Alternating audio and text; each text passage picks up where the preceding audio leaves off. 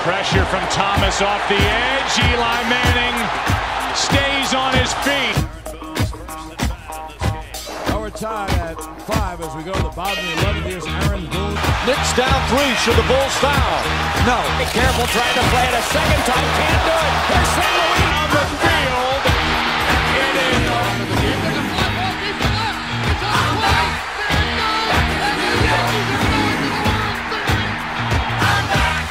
for three. Bang! That one goes down, and the game is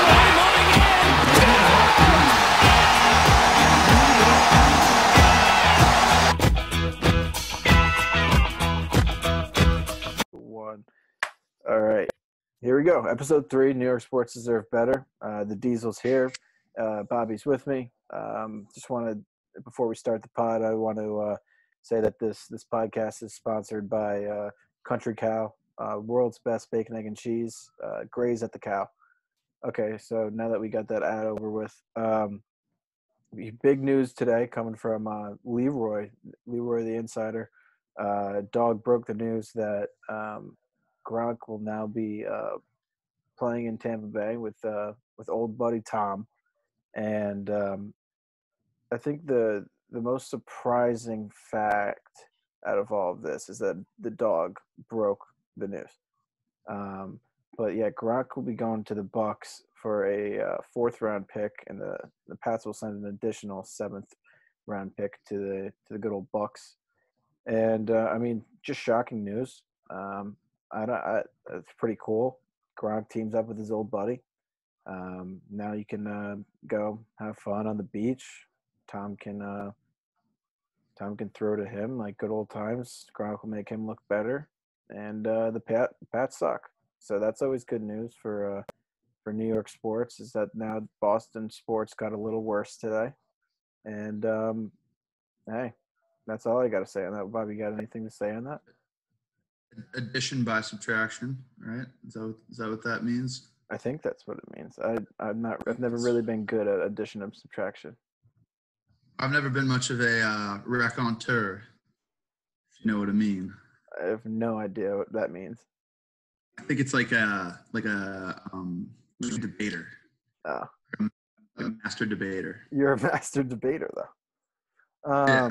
This is a good old middle school joke, masturbation. Um, but now I, I think the question comes: uh, Was uh, did Bill Belichick drive these two out? And and it's like it's it's like the MJ doc. Really, it is. It's like you got these two phenomenal players in the prime of their careers, and you got this coach or GM. And maybe these two guys are like, I'm tired of him trying to take all the credit for all the things that we've done. We're sick of it. I'm tired of being the Patriot way. I want to take my shirt off in Gronk's case. I want to take my shirt off. I want to do crazy, crazy shit, but I'm not allowed to do that as a Pat. So I want to retire. Tom's gonna leave, and I'm gonna go with him. And maybe, maybe it's that's the case. Maybe it's maybe Belichick is like, what, this is all me. Uh, yeah, the players do a lot on the on the field, but it's the guys like me that control the players. Yeah, that um, that might be it. I think uh, a lot of times though with Belichick is he just likes to get rid of guys, um, you know, early sooner rather than later. You know, rather deal them early and and move on than wait for him to start declining pretty rapidly. Well, yeah, Um, that's that's that's a that's a good point. But like now, Tom, he he let Tom Brady stay until he was 45 years old. Yeah, I think. I mean, he's clearly over the hump though too. That's like he probably thinks um, it's just not worth holding on to him. That's true. I mean, it's definitely not worth holding on to Gronk since Gronk literally retired and was like, I don't want to play for the Pats anymore. Well, it wasn't like, oh, I don't want to play. It was just, I kind of, I don't want to play football anymore. But now it's starting to feel like he just didn't want to play for the Pats. And obviously, it's probably a better opportunity for his whole brand to go to Tampa Bay because he loves beaches and partying and that stuff. And uh, his his girlfriend's a uh, swimsuit model, right? It was, it's uh, Cam- Camille Cam- Kostek. Yeah, yeah, yeah. So, So hot. I mean, there's nothing like, you know, you're with your boy, you're moving to the beach, and then now both your supermodel, like Yeah. significant others, can just be in a bikini all day and hang out and be rich by the beach. You know what I, I mean? mean, Yeah, and you can maybe since they're always they're not going to be wearing that many clothes. Like maybe maybe something gets brought up. It's like, hey, maybe we swap the wives for a for a week, to see what happens.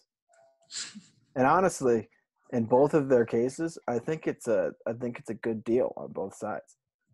So maybe Tom's like, I'm sick of this skinny, skinny woman.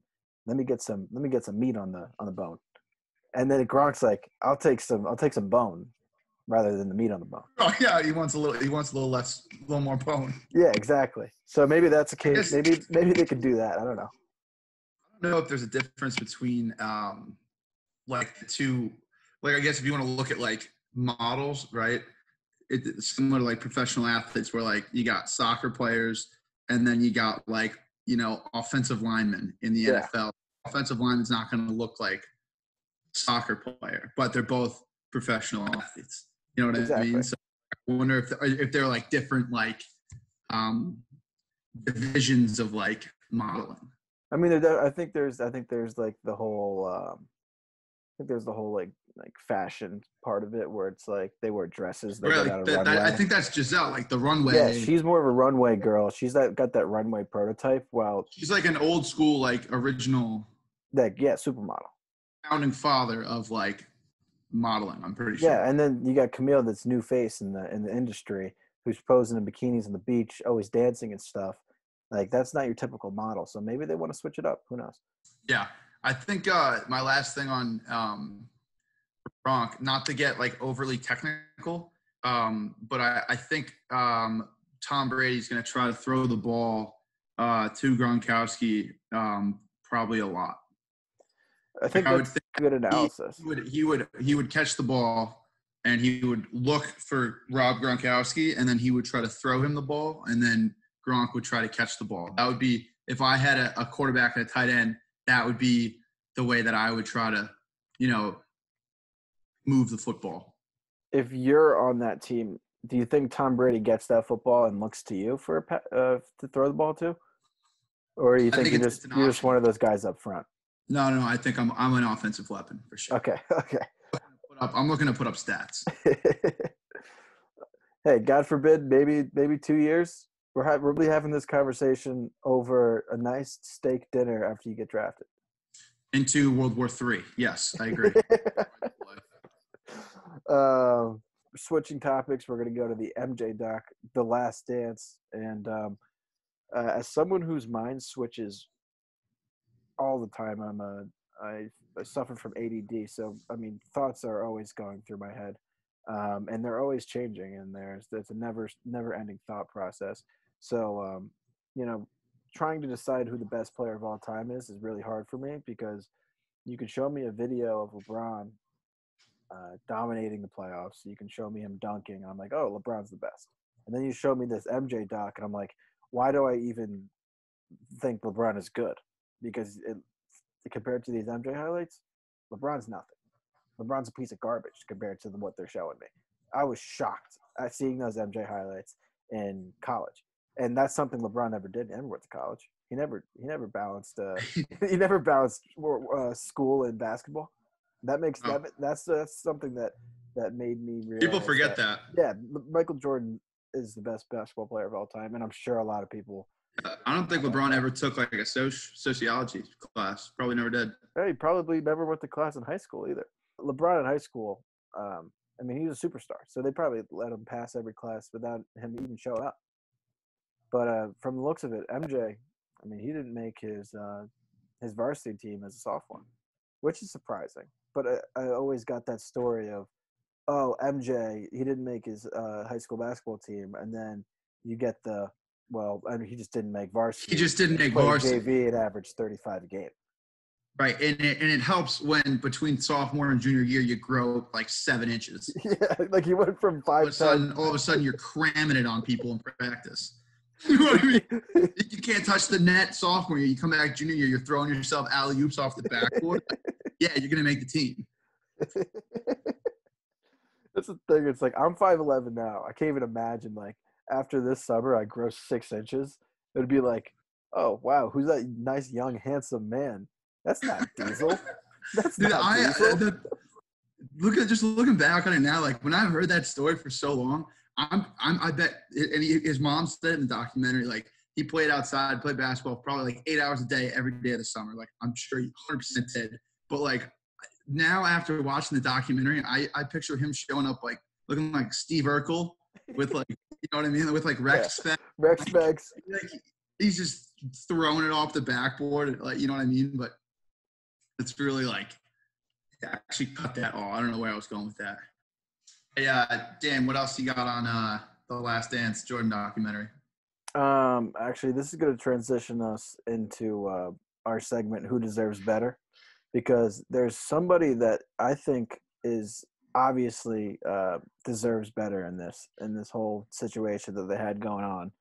And no, it is not what you think. It's not Scottie uh, Pippen. It's not Pippen. Not Pippen. Uh, it's going to be Jerry Krause. Uh, Jerry Krause. I mean, he's this guy, and Michael Jordan. Whenever he got a chance to rip on Mr. Krause, he he took it. Uh, whether that be uh, saying if he wants to shoot some layups on, on the court with them, and he said yes, nice genuine yes, and he goes, then we got to lower the rims. Uh, I heard they called him they called him crumbs because he always had crumbs on him. I mean, the the just amount of disrespect that was given to Jerry Krause, a man of authority, uh, is just wild. I think he deserves better. He did put together this team. He traded for Pippen. He traded for Rodman. He put all these pieces together. Yes, I'm on the side the players made uh, made and and did all the magic, but um, I think that I, I mean he he got shit on the entire entire time he was there, and I understand why he wanted to kind of just like be like, hey, we know what we're rebuilding. I don't want to be with, around these guys, but um, I mean, the, the owner of the Bulls said he was he was the nicest one of the nicest guys he's ever been around, and then I mean he just got shit on nonstop. Um, so I think Mr. Krause deserves better. And also MJ during his Hall of Fame speech called him out and was like, "Mr. Krause is right there. I don't know who invited him." And then continued to shit on him because I didn't mid mid mid Hall of Fame speech, and just completely got distracted and was just like, "Yeah, you know what? I'm gonna rip on him for a good ten minutes." Uh, I think he deserves better.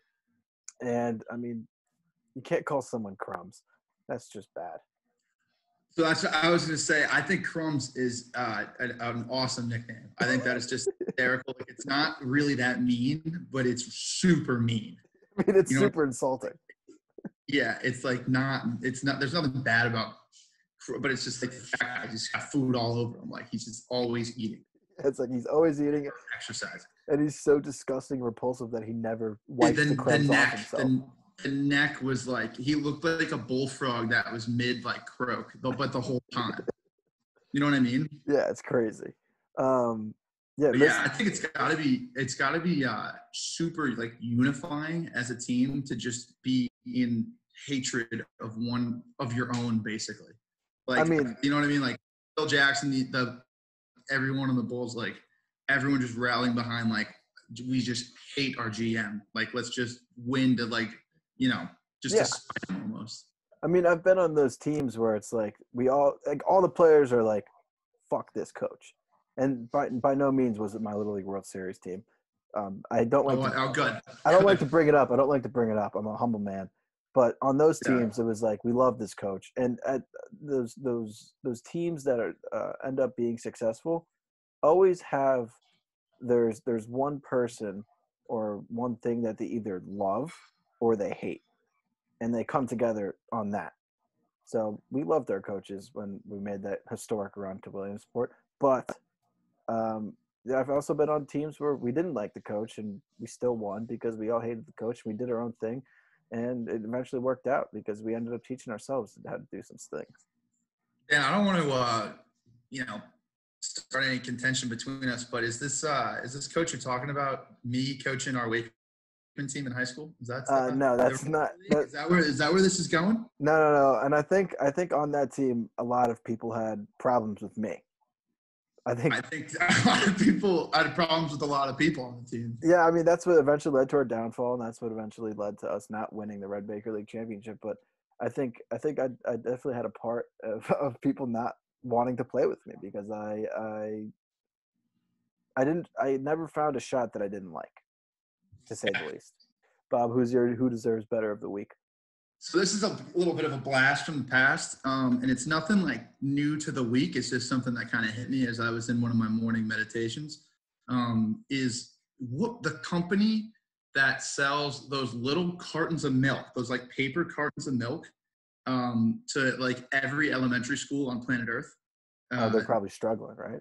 Yeah, because no one drinks those that size chocolate milk in that size container, and it's like 11 a.m. lunch, and you're in fifth grade. You know, and, Yeah. and, uh, so we I went to a little Catholic school in Newtown when I was growing up, and uh, every day at lunch we I would go and get a chocolate milk, and like we'd all sit at like our little table. And uh, there was always one kid, and I'm sure every school has this, like every friend group has this, but this one kid that just wore his lunch on him every day, every single day. Didn't matter what he had. It was half of it was in his mouth, the other half was all over him. And uh, and that kid always loves carton chocolate milks. It just in the world is the carton chocolate milk. So Um, all these government bailouts going. I just hope they don't forget the uh, the chocolate milk industry because it would be a real shame if, if kids these days never knew what the carton chocolate milk was all about. so now that we know who deserves better, um, let's see who. We got a new one, don't we? Yeah, we got a new segment. Bobby made the segment. I think it's a great segment. Um, Thank you, It- Dan. it it goes back to uh, Derek Jeter's farewell tour and uh, a nice little ad that just said "Re2pect." I mean, they use the uh, the two and Jeter's number as an S, and it's just genius. be an ass. Yeah. just genius. Uh, just genius, and uh, uh, I didn't now, think. I thought it was so dumb. I never understood it. I mean like, that all those two, Jeter like- commercials bring me to tears. I mean, Jeter is an influential um, character in my life, and um, I, I wrote a A little father figure. Yeah, I wrote a little piece on him on the Instagram. Go check that out. Um, but um, yeah, so basically, uh, the our Re2pect segment is someone that is uh, someone that deserves a little uh, a little respect, and uh, maybe someone that's going a little unnoticed. Maybe, uh, maybe. Yeah, I, I think just- that, that sounds about right. Yeah, and uh, Bob, since it's your segment, I'm going to have you start off. It's an honor, Dan. Thank you. Um, I'm going to start it off uh, in old school fashion. I'm going to go uh, everyone's favorite big dude, Big Time Tommy. You know Big him? time Tommy, yes. Big Time Tommy, OS for life. Take it easy. Uh, that guy, number one, he's just hysterical. Like that, he would used to. Uh, he used to go like to like I don't know, his buddy owns a bar or something, but he'd have like the the old school like techno music going, and he'd be like Friday night, the old school way, and it'd be like him and his buddy alone, like listening to like '80s techno, and then uh, but Danny in this pandemic, what Big Time Tommy has been doing is he's used his platform for good, and he has been uh, posting like PSAs on like staying safe, social distancing, like washing your hands, staying sanitized. Um, but the way he does it is funny because he does it in New Jersey in April with the top down on his convertible in a tank top, smoking a cigar. So it's like the- he's he's like it's like the socially you know be healthy you know you know don't get sick and he's doing like maybe the three or four things that could get you the most sick like at this you know what i mean I mean, yeah. I mean, I, I remember seeing Tommy on um, America's Got Talent. Actually, uh, he was uh, he was the uncle to a guy named Sal, who's sang an incredible rendition of uh, "My Way" by Frank Sinatra. But I remember seeing him, and he had a, perfect song for someone in that family to sing. yeah, and he, he had a cigar in his hand, and I'm like, and then like Nick Cannon was with him, like, I mean, like had a cigar in his hand, and it's like, who is this guy? Why they make such a big deal out of him? And then I saw him on Instagram, and uh, I mean, he deserves all of the Re2pects in the world. yeah i think he's also uh, like an old reality tv star i just don't know what show but i'm pretty sure he had his own show at some point Um, my to this week, uh, someone that uh, went a little unnoticed in the in the Last Dance doc, uh, friend of the podcast, fan of the podcast, Riley Bloom. Uh, he was a, uh, a production assistant on uh, on the Last Dance, and uh, I saw his name pop up on the on the credits. that's there Yeah, but it wasn't big enough, so I think I think he deserves a little more packed. Uh, obviously, huge uh, huge ups to him. Uh, awesome documentary so far. So um, love everything he's doing, and uh, love to see his name up there on the credits. Yeah, it's it's interesting that with a name like Bloom, um, with a documentary airing in April, that they wouldn't make a bigger deal out of that and put it in you know more of a prime location. That seems weird to me. I think ESPN might be losing something off their fastball there. Yeah, I mean it, it's just dumb. Uh, I think I think the name needs to be bigger. Uh, do you have another one? That's all right. Yeah, go ahead. So uh, this was a late edition because of the breaking news that came in late last night. But my Re2pect for this week is the North Korean surgeon that uh, botched Kim Jong Un's surgery. Um, because I mean, he, probably killed one of the most dangerous people like in the world, you know. Um, and you know, this guy killed Kim Jong Un. You know, killed his own half brother just because he thought you know he didn't really like him. So uh, if you're the surgeon that almost kills him or did kill him, I don't even really know if he's dead or alive, but uh, you're definitely he's definitely dead already. The the surgeon is probably dead, right? I mean, like I can't I can't imagine they let him out of the operating room without you know tuning him up a little bit. I Um, mean, it's one of those things that's like, yeah, Kim Jong Un is what? Is he brain dead or is he dead now? I think he's just brain dead right now. I think he's always been brain dead. I just think he's officially dead now. Um, yeah, so I think I think obviously we respect the office, our office, but we don't respect guys like him. And um, it's one of those things that's just like he if they're he's so corrupt that I someone else is going to come into power. That was his buddy or something, and they're he they're going to do the same thing. But I mean, Re2pect to the guy that just knocked one out. He's like, all right, this guy's done. He's been here too long, and I'm going to do it ethically. I'm going to I'm going to screw up in a surgery. And I, obviously, they trust me, and they don't think I'm going to screw up because they wouldn't have come to me if they thought he really was going to have uh, a bad surgery. It's like they don't. They, they, they, I'm sure they they went through and they they checked all the other surgeons, and they were th- this was their guy, and he was just like, little do they know, I'm Trojan horse in this bitch, and I'm He, made he him. made an oopsie daisy. yeah. It's like I, I I did a I did a bad I did a poo poo in, in surgery, and now he's dead. Right. he he comes out of the operating room. They're like, "How'd the ankle surgery go?" The ankle? You told me it was brain surgery. He's got- his his brain's just mangled on the operating table. Cause I'm in